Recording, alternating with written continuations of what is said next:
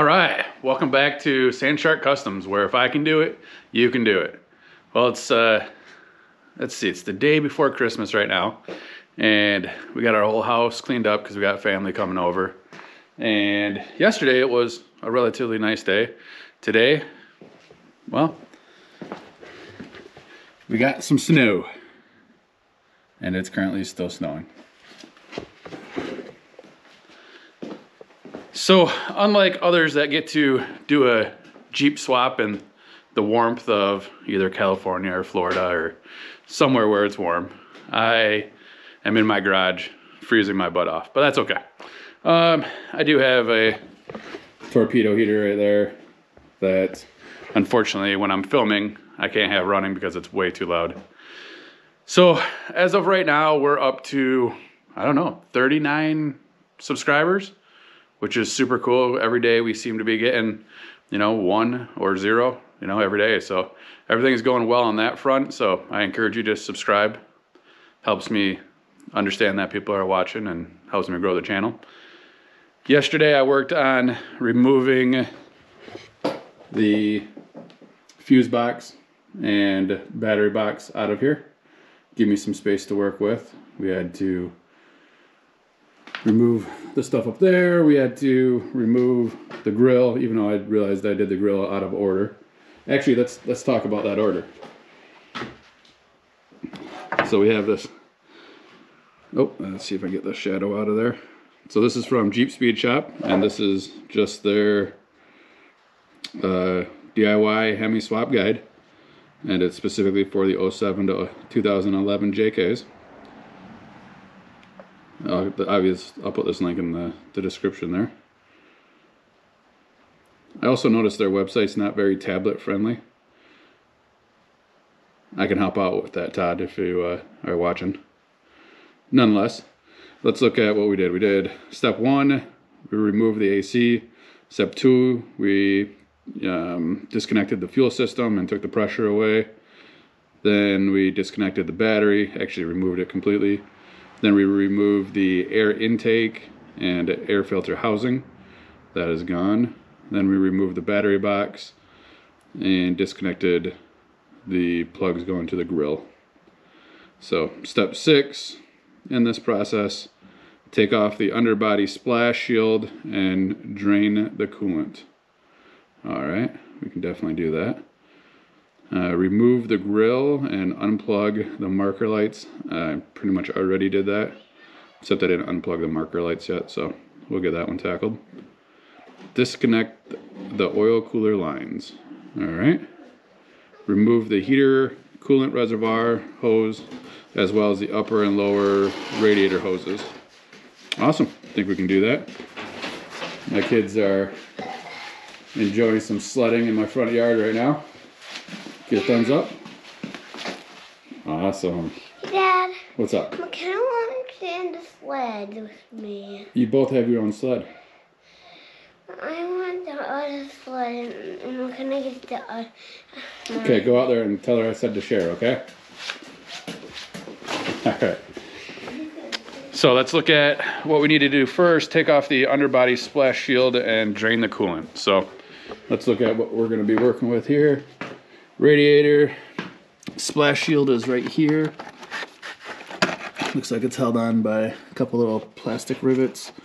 We'll get that taken off and then we'll uh, we'll go from there. I do want to talk about a tool. Um, I bought this off of Amazon. It's just a I don't even know what to call it. It's just a one of those plastic rivet plug removers, I guess you could say. And here's an example right here.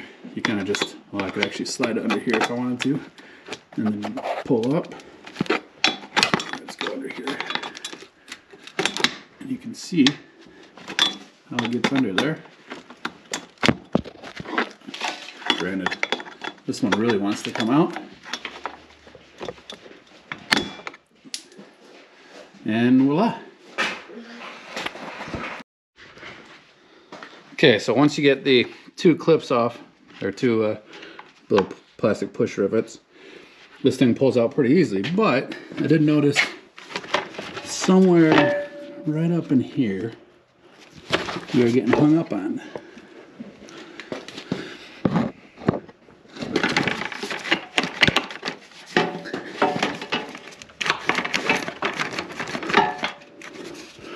Looks like. Ah, there it is. Another push rivet right there.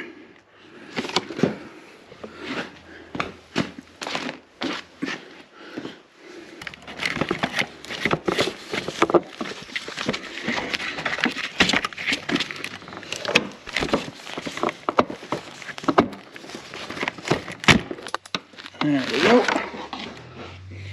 Got that out. Put this down right here. That should.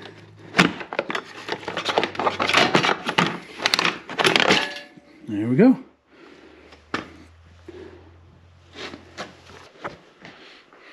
So that was removing the underbody splash shield.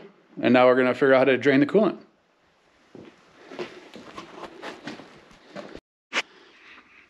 Okay, so this looks like it's going to be pretty straightforward. Looking down here at the, the radiator, we'll notice right here, a little outlet. And then I'm betting when we turn this, it will drain out the outlet. So I am going to find something. I'm going to guess that there's nothing directly underneath here. If I back up, there's nothing directly underneath here, so I might just put a bucket underneath or maybe just hold up a gallon jug to catch the uh, radiator fluid with. I think that's what my goal will be. We'll just use a gallon jug and see how it goes. Okay, I have something interesting happening when I uh, wanted to drain the antifreeze. What's going on is I thought that this little spigot that's coming out right here, when I when I turn this knob, I thought it would have drained out right there.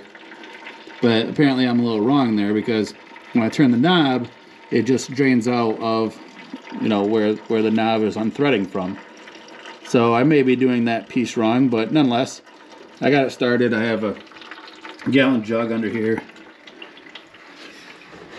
My understanding is that there's going to be roughly a gallon and a half of antifreeze that should drain out somewhere right around, around there. So I will get that evaluated and let you know. Be back in just a second. I was able to get the the plug out, which is just right here. I still don't know why it wasn't coming out of the, uh, the little spigot that's right there. That's a little strange to me. But nonetheless, it is drained out. I'd say I did pretty good. I didn't get very much on the floor. The part that I'm very confused about, it was my impression that I would get about a gallon and a half of antifreeze out of here, and I don't even think I'll fill up a gallon. Hmm. We'll have to figure out what's going on with that. Oh, honestly, I don't really care because we're swapping out the engine and, and everything anyways, but let's count that step done. Let it drip for a little bit longer. So we took off the underbody splash and we drained the coolant. All right, now we remove the grill, unplug the marker lights. Done. Disconnect the oil cooler lines. All right, let's get to that. Next part is to disconnect the oil cooler lines. Right here on the right hand side of the, uh, the radiator.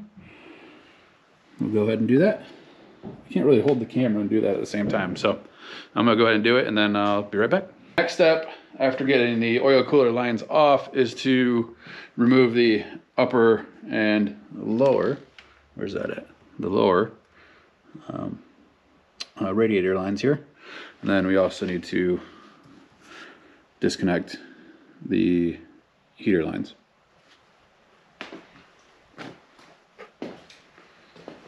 I may not sound confident because I'm not 100% sure that that's the correct name of them, but we'll continue.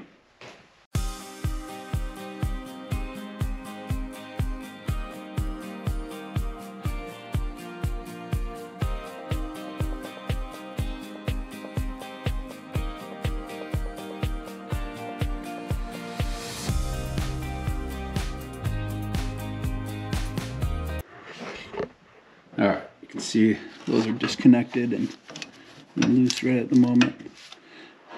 Once I pull this out, it'll be, I'll be able to cover up these ends. I don't want anything getting in them. All right, so upper, lower heater lines are out. These are also AC lines, so I'm not 100% sure how that system works, but they run up here somehow. All right, let's go see what next step is.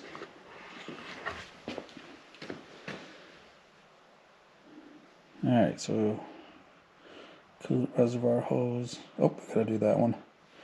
Okay, so the coolant reservoir is right here. Now this is the hose.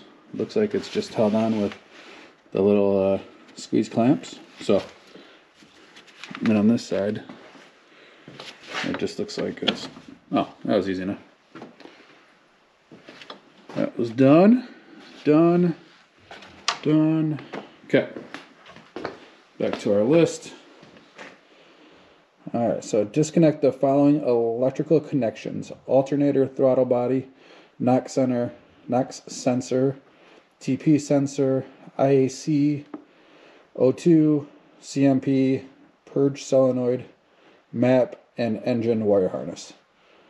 Woo! They just had a lot of words. I don't know what they are. Granted, I know what a few of them are. I am going to, yeah, I'm going to end this video and then I'm going to go do some research on what, I know a few of them, but I'm going to go do some research on what all those different sensors are. Don't want to make a mistake, you know. Granted, we're just unplugging, but I'd like to learn a little bit along the ways. So, with that, it's Christmas Eve. I'm going to go hang out with the kids, go drink some eggnog. Yeah. Awesome. Well, shout out to everybody that's been watching.